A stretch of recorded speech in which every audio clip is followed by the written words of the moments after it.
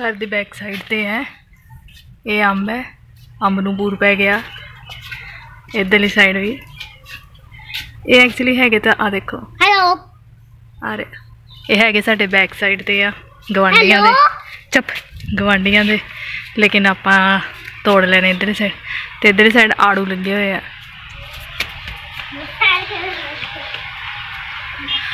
ਬਹੁਤ ਸਾਰੇ ਲੱਗੇ ਹੋਏ ਆ। ਤੇ ਉਧਰ ਲੀਚੀ ਨੂੰ ਬੂਰ ਪਿਆ।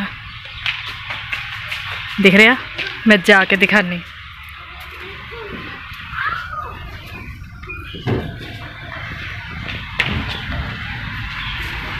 ਇੱਥੇ ਲੀਚੀ ਨੂੰ ਬਹੁਤ ਸਾਰਾ ਬੂਰ ਪਿਆ ਹੈ ਆ ਦੇਖੋ ਹੁਣ ਦਿਖ ਰਿਹਾ ਜਿਹੜੀਆਂ ਇੱਧਰ ਲੀਚੀਆਂ ਲੱਗਣਗੀਆਂ ਸਾਰੀਆਂ ਮੈਂ ਤੋੜ ਲੈਣੀਆਂ hello everyone it's Sunny here hope you all are doing well ਤੇ ਅਸੀਂ ਅੱਜ ਹੈ ਨਾ ਸ਼ਾਮ ਦਾ ਟਾਈਮ ਹੈ, ਇਸ ਲਈ ਅਸੀਂ ਸੈਰ ਕਰਦੇ ਪਏ ਆ ਘਰ ਦੇ ਨਾ ਚਾਰ ਚਫੇਰੇ ਸੈਰ ਕਰੀਦੀ ਹੁੰਦੀ ਆ ਤੇ ਤੁਸੀਂ ਵੀ ਸੋਚਦੇ ਹੋਣਾ ਘਰ ਦੇ ਚਾਰ ਚਫੇਰੇ ਸੈਰ ਕਰਨ ਨਾਲ ਕੀ ਹੋ ਜਾਊਗਾ, ਹਨਾ? ਕਰਨੀ ਤੇ ਬਾਹਰ ਕਰੋ। ਲੇਕਿਨ ਇਹਨਾਂ ਟਾਈਮ ਨਹੀਂ ਹੁੰਦਾ ਬੱਚਿਆਂ ਕਰਕੇ ਤੇ ਇੱਥੇ ਕਰ ਲਈਦੀ ਹੈ। ਫਿਰ ਵੀ ਇੱਥੇ ਇੱਕ ਗੇੜਾ ਮੈਂ ਪੂਰਾ ਉੱਥੇ ਪਿੱਛੇ ਗੇਟ ਤੱਕ ਲਗਾਨੀ ਆ ਤੇ ਮੇਰਾ 1.5 ਮਿੰਟ ਕਵਰ ਹੋ ਜਾਂਦਾ। ਹਟੋ! ਤੁਰਨ ਦਿਓ! ਲੈ, ਆ ਤੇ ਮੇਰਾ ਪੂਰਾ ਹੈ ਨਾ 1.5 ਮਿੰਟ ਕਵਰ ਹੋ ਜਾਂਦਾ। ਉਸ ਹਿਸਾਬ ਨਾਲ ਮੈਂ ਕਰਦੀ ਆ ਪੂਰਾ। 30 ਮਿੰਟ ਤੇ 30 ਮਿੰਟ ਦੇ ਹਿਸਾਬ ਨਾਲ ਕਿੰਨੇ ਗੇੜੇ ਬਣਦੇ ਆ ਮੇਰੇ ਤੁਸੀਂ ਕੈਲਕੂਲੇਟ ਕਰਕੇ ਦੱਸਿਓ ਠੀਕ ਹੈ ਜਿੱਦੇ ਕੈਲਕੂਲੇਟ ਕਰ ਹੋਏ ਤਾਂ। ਐਸੇ ਬਟਾ ਖਤਮ ਕਰ ਲਿਆ ਹੁਣ ਕਰਕੇ ਮੈਂ ਇੱਥੇ ਬੈਠੀ ਆ ਇਹ ਹੈ ਮੇਰੀ ਫੇਵਰੇਟ ਜਗ੍ਹਾ ਕਿਉਂਕਿ ਇੱਥੇ ਦਿਨੇ ਵੀ ਨਾ ਇੱਥੋਂ ਦੀ ਆਂਦੀ ਹੈ ਧੁੱਪ ਤੇ ਇੱਥੇ ਮੈਨੂੰ ਨਿੱਘਾ ਨਿੱਘਾ ਲੱਗਦਾ। ਕਿਉਂਕਿ ਹੁਣ ਤੁਹਾਨੂੰ ਪਤਾ ਹੁਣ ਇਦਾਂ ਦੇ ਦਿਨ ਹੈ ਨਹੀਂ ਕਿ ਆਪਾਂ ਧੁੱਪ ਹਨਾ ਲਈਏ ਤੇ ਮੈਂ ਇੱਥੇ ਬੈਠੀ ਨਹੀਂ ਤੇ ਫਿਰ ਮੈਨੂੰ ਠੀਕ ਠਾਕ ਜਿਹਾ ਲੱਗਦਾ ਯਾਨੀ ਕਿ ਮੇਰੀ ਫੇਵਰੇਟ ਜਗ੍ਹਾ ਆ ਇਹ ਇਸ ਰੂਮ ਚੋਂ। ਤੇ ਮੈਂ ਕਹਿ ਰਹੀ ਸੀ ਕਿ ਸੈਰ ਸਪਾਟਾ ਕਰ ਲਿਆ, ਤਕਰੀਬਨ ਅੱਧਾ ਘੰਟਾ ਕਰ ਲਿਆ ਤੇ ਜਿਹੜਾ ਮੈਂ ਕੁਐਸਚਨ ਪੁੱਛਿਆ ਨਾ ਤੁਹਾਨੂੰ, ਉਹਦਾ ਆਨਸਰ ਜ਼ਰੂਰ ਦਿਓ ਕਮੈਂਟ ਵਿੱਚ। ਅਗਰ ਕਿਸੇ ਨੂੰ ਸਮਝ ਆਂਦਾ ਹੈ ਕੈਲਕੂਲੇਟ ਕਰ ਪਾਇਆ ਕੋਈ, ਤਾਂ।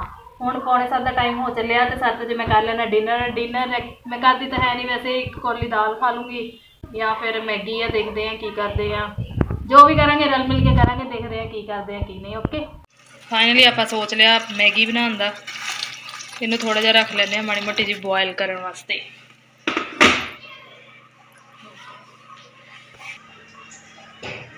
ਇਧਰ ਆਪਾਂ ਮਟਰ ਕੱਢਦੇ ਆ ਆਪਣੀ ਮੈਗੀ ਵਾਸਤੇ, ਵਿੱਚ ਪਿਆਜ਼, ਮਟਰ, ਸ਼ਿਮਲਾ ਮਿਰਚ ਪਾਵਾਂਗੇ ਤੇ ਪਿਆਜ਼ ਥੋੜੇ ਹੋਰ ਪਾਵਾਂਗੇ, ਵਿੱਚ ਆਲੂ ਵੀ ਪਾਵਾਂਗੇ।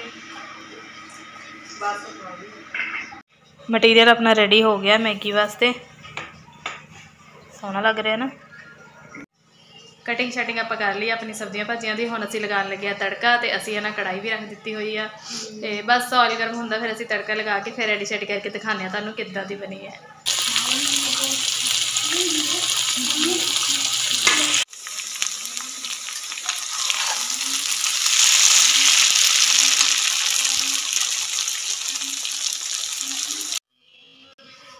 ਮੈਗੀ ਸਾਡੀ ਬਣ ਕੇ ਰੈਡੀ ਹੋ ਗਈ ਹੈ ਤੇ ਹੁਣ ਅਸੀਂ ਖਾ ਕੇ ਇਹਨੂੰ ਥੋੜਾ ਜਿਹਾ ਟੇਸਟ ਕਰਕੇ ਦੇਖਦੇ ਹਾਂ ਕਿੱਦਾਂ ਦੀ ਹੈ। ਦੇਖਣ ਦਾ ਬਹੁਤ ਯੰਮੀ ਆ।